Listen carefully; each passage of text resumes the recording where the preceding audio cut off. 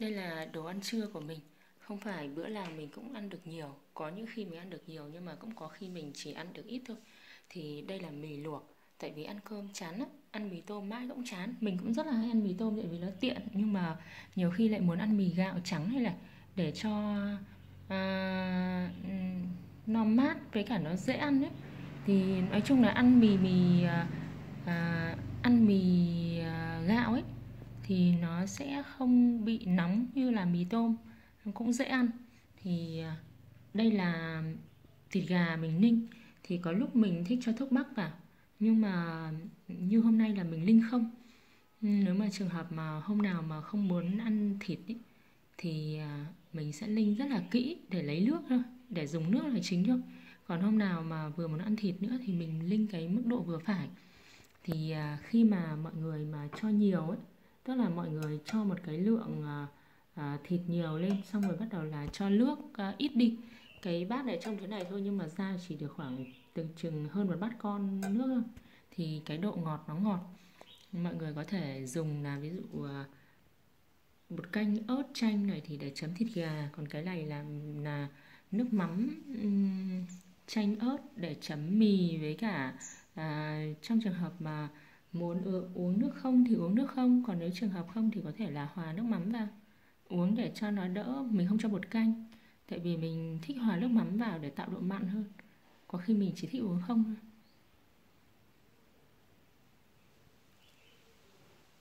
Mời mọi người ăn trưa nhé.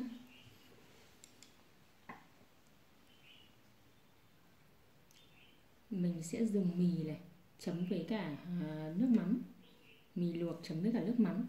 Thì à, dễ ăn hơn.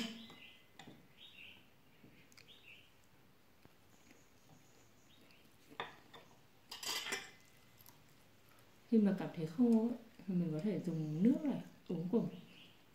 Ừ, còn nếu mà trường hợp cảm thấy nhạt thì có thể cho nước mắm vào. Nhưng mà mình uống không như này không cho bột canh không cho gì đâu chỉ linh mỗi thịt gà lên thôi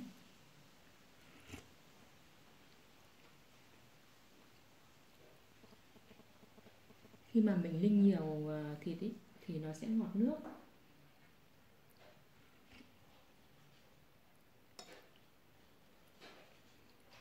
Nó không bị nhạt nữa cái nước ngọt nó sẽ bù đắp vào cái việc mà bị thiếu gia vị thiếu bột canh.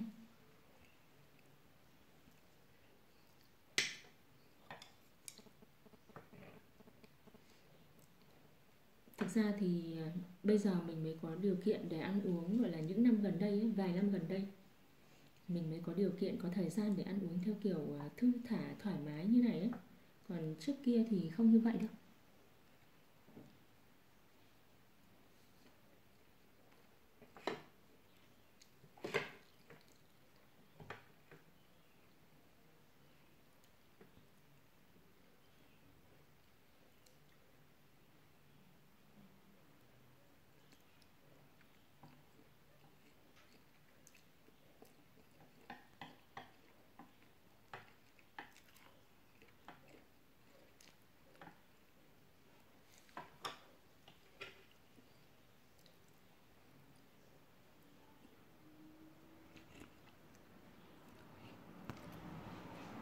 những ngày mệt hay là không muốn ăn thì à, uống nước rất là tốt. Tại vì uống nước xong là mình không cần ăn nhiều nhưng mà cơ thể cũng khỏe lại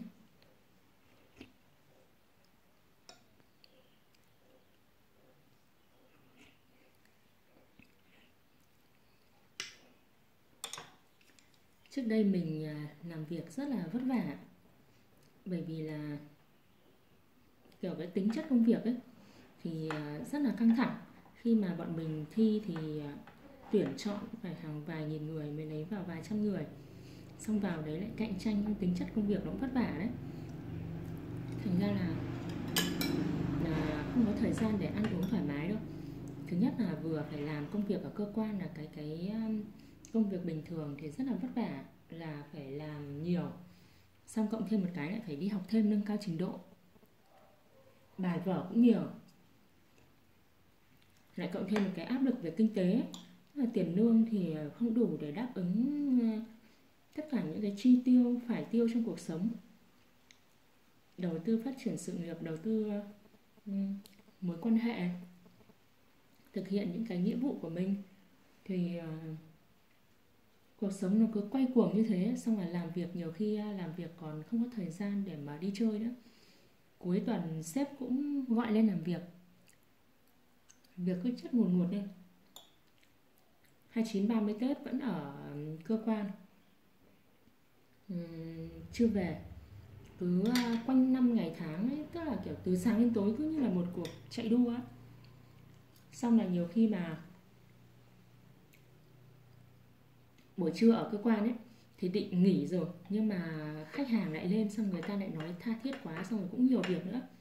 Thế là vừa ngồi gặm bánh mì vừa làm việc cho khách hàng cho kịp vất vả rồi à, ví dụ như cũng có những cái thời kỳ mà lúc mình học cao học ấy thì học cái chương trình là toàn của um, giảng viên nước ngoài từ những cái trường nổi tiếng uh, trên thế giới người ta dạy ấy. nói chung là cũng là thuộc diện là những người thành công và tinh hoa ấy. người ta giảng dạy thì cái à, thời lượng mới lại là cái việc học nó rất là nặng bài vở rất là nhiều xong là bình thường chỉ làm việc ở cơ quan thôi sáng dậy là ngủ đủ giấc là đã mệt. Nhưng mà những cái thời kỳ mà học ấy thì ờ, có khi 3 giờ vẫn phải thức để à, làm chuyên đề làm ừ, à, thuyết trình hay là gọi là làm một cái ờ, project nhỏ. Đến lúc 3 giờ sáng mới ngủ à, 3 giờ sáng mới ngủ xong bắt đầu 6 giờ sáng đã phải à, dậy chuẩn bị các thứ rồi. Không vội vội vàng vàng phi đến cơ quan có hôm thì kịp ăn sáng có hôm thì không kịp ăn sáng. Mà kiểu bài vở nó nặng nó nhiều ấy. học thường xuyên là học khuya luôn. Học nâng cao thường xuyên học khuya. Xong rồi uh, có khi thì à, ăn nhồm ăn nhòm ấy vừa thay đồ vừa ăn nhồm ăn nhòm ấy. Nó kiểu là nó không được thư thả thoải mái như thế này đâu. Bây giờ mình mới có thời gian thư thả tận hưởng thoải mái như này. Vài năm nay thì ăn uống rất là thư thả thoải mái.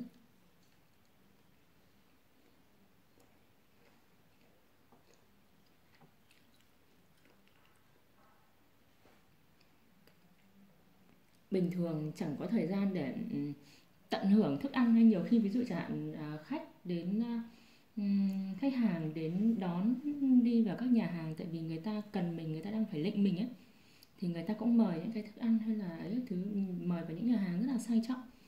Nhưng mà bởi vì là mình à,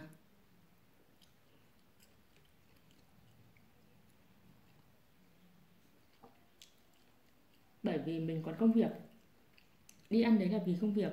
Mình không để tâm được vào món đồ ăn. Bước ra khỏi nhà hàng, mặc dù là món thì rất là đắt tiền mà ăn rất nhiều món, nhưng mà cuối cùng nhiều khi, gọi là, mình cũng không thưởng thức hết cái cái độ ngon của thức ăn ấy. Chỉ có cái mấy năm gần đây này thì rất có thời gian để thưởng thức những món ăn.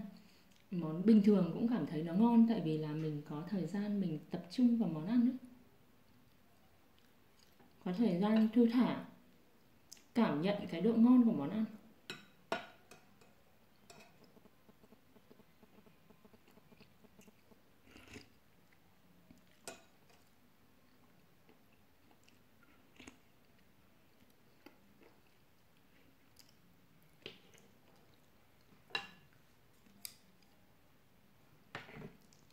Những cái đợt mà cứ 5 tháng cứ liên miên làm việc rất là vất vả như thế. Mà làm việc rất là vất vả nhưng mà cái tiền đủ, tiền lại không đủ đáp ứng những cái nhu cầu của mình. Kể cả ăn uống cũng phải rất là tiết kiệm làm thì rất khổ, rất vất vả.